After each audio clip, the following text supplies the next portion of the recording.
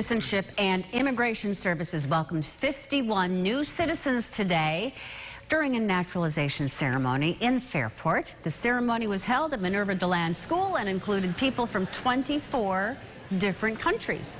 One of these new citizens is Michael Francis. He's originally from Canada and he came to the U.S. because his father was struggling to find work.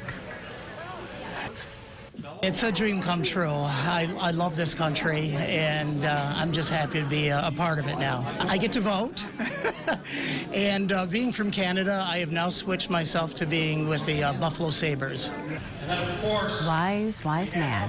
During the 2018 fiscal year, U.S. Citizenship and Immigration Services welcomed more than 750,000 new citizens during naturalization ceremonies across the country, including here at home.